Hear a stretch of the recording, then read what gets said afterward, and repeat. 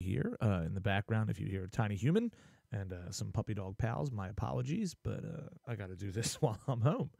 Uh, so today I want to give you some tips and pointers for the Pops project, uh, some different things to maybe consider, and some different techniques you can look at. So we've been learning about automation and panning, and so that's the first thing we're to look at. So I picked the song "You Are Not Doing," uh, but it is Disney related. It's the Indiana Jones theme. Uh, you would see this at the Indiana Jones ride. So let's listen to the beginning of it, and then we'll get to work showing you how uh, you could change some of the things in yours and some techniques.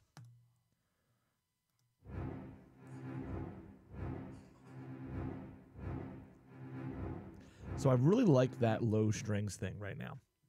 And I think it'd be a really cool idea uh, to take that instead of having it centered like you can see and pan it left to right. Now, I don't want to just auto pan it left to right because we don't want to have this like seasickness idea of all the way to the left, all the way to the right.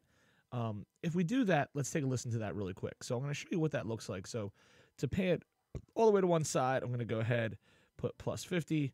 Uh, I'm going to keep that all the way up there for now and then drop it down. So we switch for the second bar. Then I'm going to add my panning uh, dots back in so it moves back for the next time. Uh, I'll move these as close as possible just so that way uh, we have them. It, it is kind of a pain because they want to, uh, it's very hard to get them like over top of each other. So there we go. Uh, I'll do one more just so we can hear it.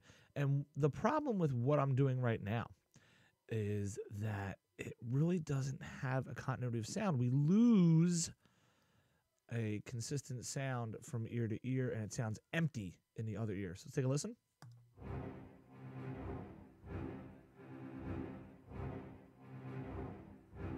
See how it switches back and forth? We almost shut off the other ear. Um, we don't want to lose that sense of space because there is a um, emptiness to that. So I'm going to go ahead. I'm going to right click, reset automation. And the first thing I'm going to do is I'm going to duplicate this track. All right. So now that I have this track duplicated, uh, I have a couple different things that I can do. Um, in fact, I'm actually going to get rid of the strings sound first. Um, you know what? No, I'll wait on that. Uh, now that I have two tracks, I'm actually going to add a third for this. All right, so I'm going to duplicate the track one more time. I'm going to make this my low left. All right, I'm going to make this my low right. All right, I'm going to go ahead and pan that right now uh, all the way to the left. And I'm going to go ahead and pan this one all the way to the right. And I'm going to leave this one in the center, but I'm going to change the volume. I'm going to turn the volume down a lot. Now, what I've done is I've created this track, which I'm not going to touch, but I'm going to call it low center. And that's going to help keep the sound of the strings present the entire time, but in the background. So now what I'm going to do is I'm going to go over here to two. I'm going to chop up this little chunk here, chop up this little chunk here. So I'm going to get rid of all the other chunks, and I'm going to alternate back and forth. So get rid of here. And so now we have left channel, right channel, left channel, right channel. I hard pan them, meaning all the way to one side. And in measure five is when I'm going to switch to having the middle take over. And I'm actually going to get rid of the left and right by themselves. So let's go ahead and listen to that now.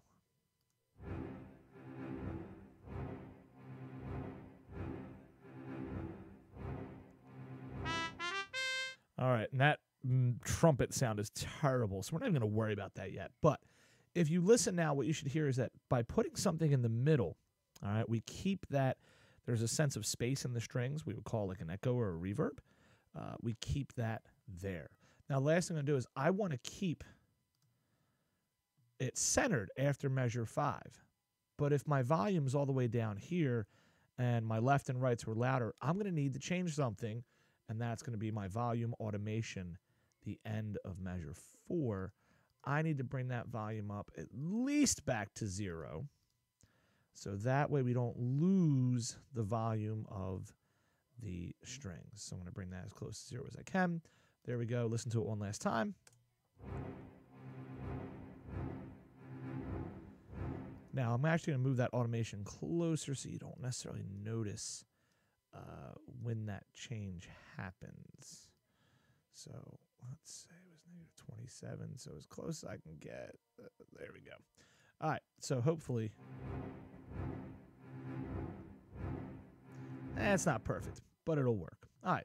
The next thing I'm going to do, um, I'm going to do a little, I'm going to treat this almost like a remix. So I'm going to get rid of the idea that these are regular strings and I'm going to switch the instrument. I'm just going to go ahead right to basses. Uh, let's go pumped up bass. All right, and I'm going to change each of these to pumped up bass now. So that way it has a little bit of a different sound. All right, so now we have pumped up bass, pumped up bass, and I need to change my third one to pumped up bass 2. So if you're just going to change the song and add some things to it, you might not need to do this. I recommend it though to try. All right, so I have pumped up bass. So now let's take a listen to what this beginning sounds like.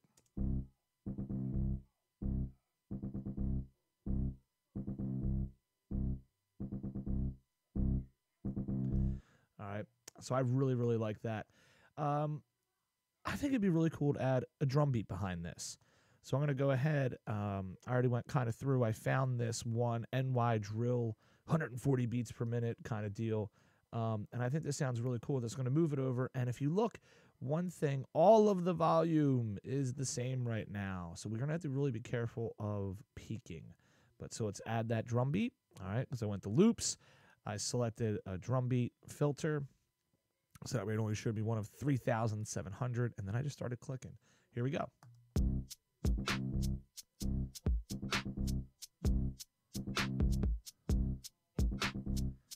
Now, my drum beat is centered, and I think it's a little bit loud. So I'm going to bring it back a little bit. I actually kind of want to add some hi hats to this. So uh, I'm going to get a little extra hi hat going. Or, you know what? A really good idea at this point would be we learned how to use hi hats. I'm going to add one from the drum machine. All right. So I'm going to add track, drum machine. Uh, I'm going to go over here. I'm going to get rid of section. Whoop, didn't want to do that. All right, just going to get rid of section B. I'm going to click on A. All right. Now, the thing I'm going to do is if I was staring at a drum set, the hi-hat would be coming from the left-hand side. So I'm actually going to take this and I'm going to take my panning.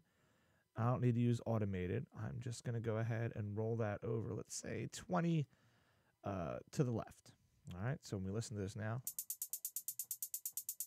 all right, let's listen to it in its entirety with everything.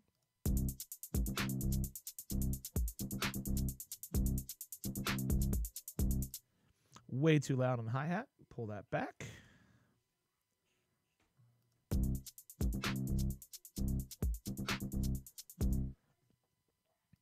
All right, and I almost wonder if I could do a different pattern a little bit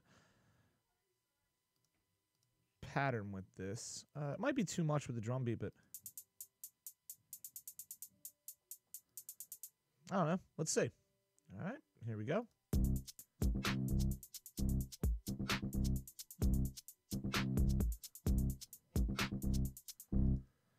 All right, so there we go. The next thing I could do is I have my main melody here. Uh, the trumpet's pretty terrible. Uh, let's change the instrument. I'm going to go ahead. I'm going to find something a little bit more um, hmm, I don't know how to put it. Let's look at pads. Let's, and let's try Cloud Fluff.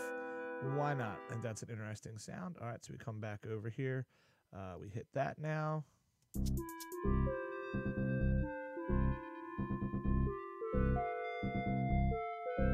All right, uh, I'm going to extend my drum beat. I'm going to do copy and paste just because. Expand my hi hats and uh, make sure that I click on the other track. And now I have Indiana Jones. It is the same Indiana Jones that I downloaded. Uh, that I started with the MIDI file, but I think this sounds very different, and that was the goal.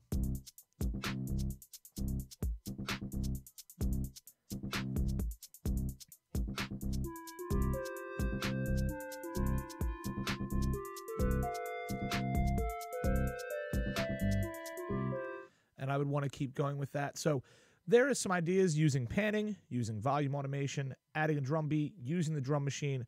All these are tools, changing the instruments.